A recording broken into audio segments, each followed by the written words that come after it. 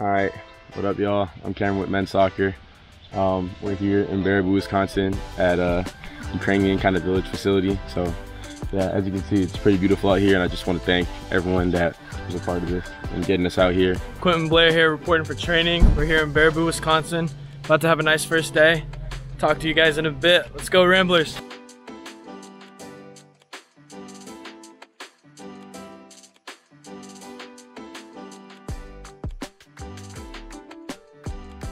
What's going on, YouTube? we here, gang, gang. We out here, we in Devil's Lake. This is our main man between the sticks. What's up?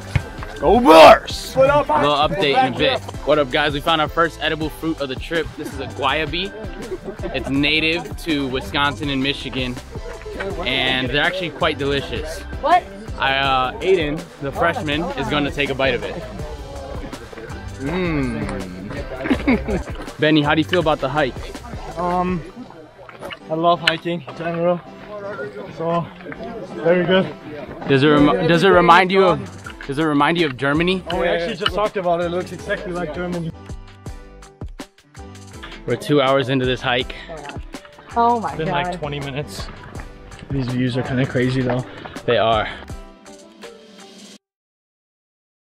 Glad I get to do it with you, Julian. I appreciate that. The gaffer walking back down. He's already cramped twice on this trail. Hydrate, everybody. Important to hydrate.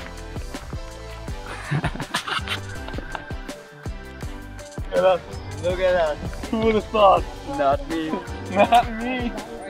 What's up, Ramblers? Uh, it's fellow sophomore Quentin Blair. Matthew Driscoll, 35. It's a game day. We're currently taking a little team walk. About to, play, Woods. about to play Milwaukee. So wish us luck, and we'll catch you later.